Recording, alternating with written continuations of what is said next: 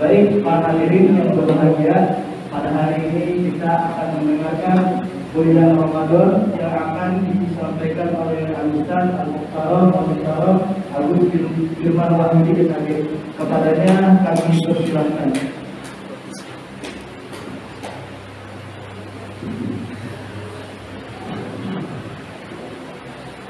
Assalamualaikum warahmatullahi وبركاته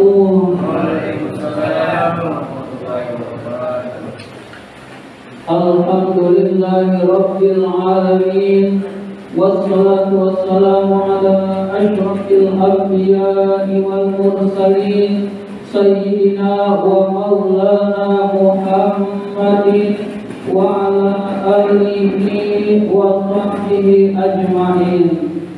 قال الله تعالى في كتابه الكريم. أعوذ بالله من الشيطان الرجيم. بسم الله الرحمن الرحيم. شهر رمضان الذي أنزل فيه القرآن هدى للناس وبينات من الهدى والفرقان. Puji syukur marilah senantiasa kita panjatkan kehadiran Allah Subhanahu wa taala atas limpahan nikmat-nikmatnya yang tidak terhingga diberikan kepada kita semua. Antara lain yang paling berharga adalah kita masih tetap diberi nikmat iman dan Islam sehingga di malam yang ke-11 ini kita masih tetap istiqomah menjalankan sholat tarawih dan di siang harinya kita melaksanakan ibadah puasa. Salawat dan salam semoga Allah limpahkan pada junjungan kita, kecintaan kita baginda Nabi besar Muhammad Sallallahu beserta para keluarganya, para sahabatnya dan kepada kita sebagai pengikut ajarannya. Allah Subhanahu wa taala berfirman di dalam surat Al-Fatir, "Summa awrasnal kitabal alladhi astafaina min ibadina, faminhum zalimun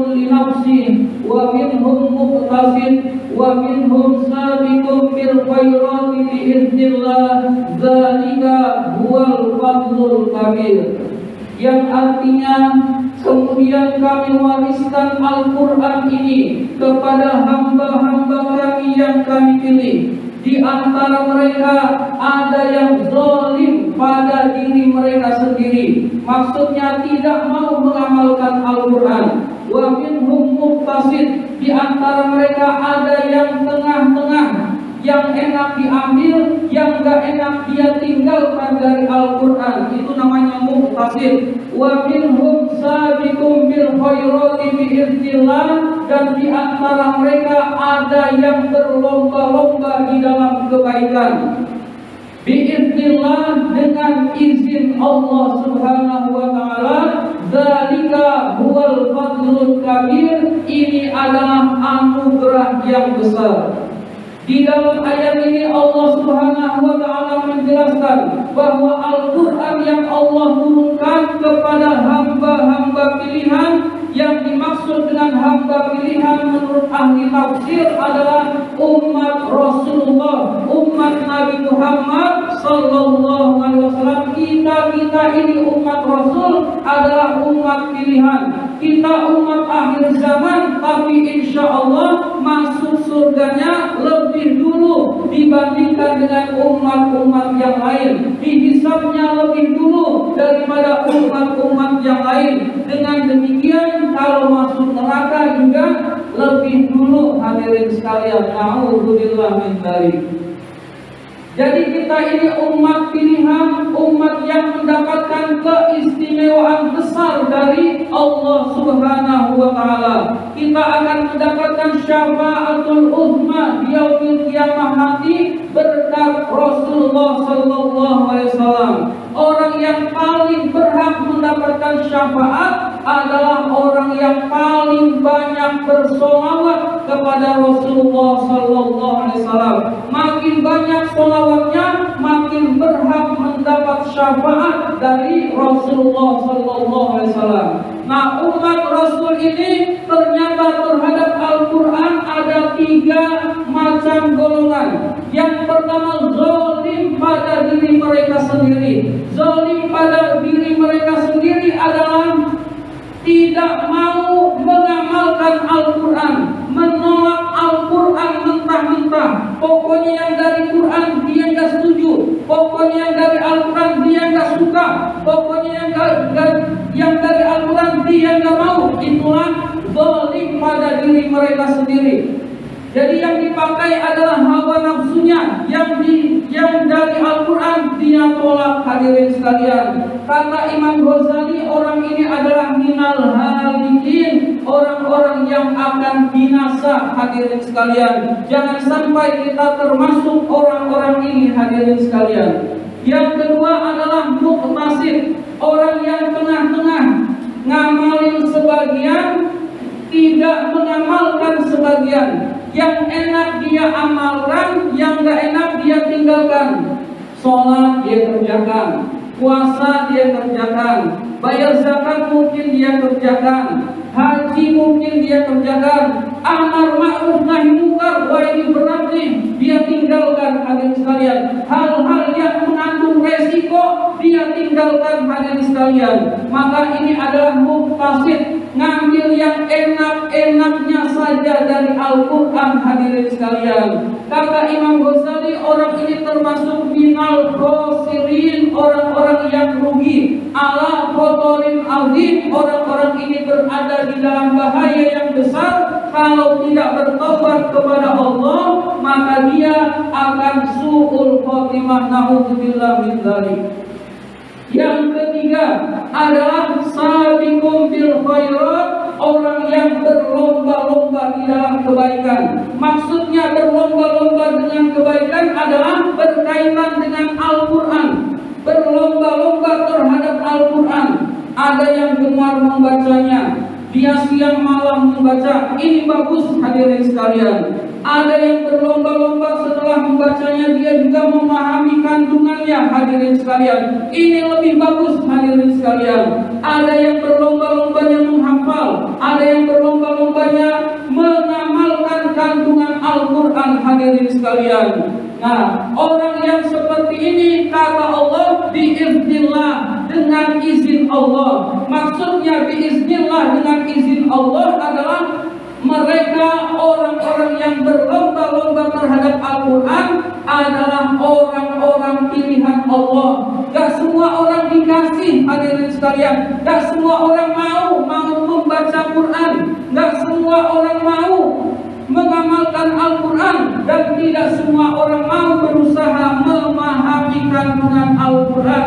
Jadi bersyukurlah kita jika kita termasuk orang-orang yang berlomba-lomba terhadap Al-Quran, baik itu membacanya, baik itu istiqomah di dalam membaca, baik itu menghafalnya, baik itu memahaminya maupun mengamalkannya hadirin sekalian. Allah Subhanahu wa taala telah berjanji di dalam surat Al-Qamar, "Wa laqad yassarnal Qur'ana lidzikri fahal min muddakir." Sungguh kami telah mudahkan Al-Quran ini untuk dipelajari maka adakah orang-orang yang mau mengambil pelajaran dari Al-Quran jadi ini janji Allah terhadap Al-Quran Allah mudahkan misalkan kita dalam posisi gak bisa baca lalu kita berusaha lalu Allah janji akan mudahkan orang tersebut bisa membaca Al-Quran hadirin sekalian. Asal ada keinginan untuk bisa membaca hadirin sekalian. Misalkan kita dalam posisi orang yang sudah bisa membaca tapi belum tekun, lalu kita berusaha berdoa juga kepada Allah diberi ingin diberi keistiqomahan bisa terus tekun membacanya bisa terus membacanya Allah janji akan mudahkan orang tersebut bisa tekun membaca Al-Quran bisa istiqomah membaca Al-Quranul Karim hadirin sekalian Misalkan kita ingin menghafal Quran, hadirin sekalian. Kita misalkan kita belum, umumnya kita belum hafal Al-Quran, hadirin sekalian. hafalnya hanya beberapa. Ada yang sampai juz ammar sudah bagus, ada yang dua juz hadirin sekalian dan seterusnya. Lalu kita berkeinginan kuat ingin menghafal Al-Quran. Kita berusaha, Allah janji, Allah mudahkan untuk menghafal Al-Quran hadirin sekalian. Jadi yakinlah janji Allah hadirin sekalian. Janji caleg boleh nggak percaya. Janji kalau pejabat boleh nggak percaya. Janji calon presiden boleh nggak percaya. Janji Allah harus wajib percaya hadirin sekalian. Innallaha la yukhliful mi'ad. Sesungguhnya Allah tidak akan mengingkari janjinya hadirin sekalian. Begitu juga kita dalam posisi sudah memahami kandungannya, ingin mengamalkan, lalu kita berusaha, Allah pasti akan mudahkan kita untuk mengamalkan Al-Quran. Di dalam penutup ayat ini Allah Subhanahu wa taala berfirman, "Zalika huwal fadlul kabir." Ini adalah anugerah yang besar. Ini adalah anugerah yang besar. Maksudnya apa? Berlomba-lomba terhadap Al-Quran ini adalah anugerah yang besar yang diberikan oleh Allah kepada kita hadirin sekalian. Kita kalau menganggap anugerah yang besar kan kalau punya duit banyak itu namanya anugerah yang besar. Kalau rumahnya mewah itu anugerah yang besar.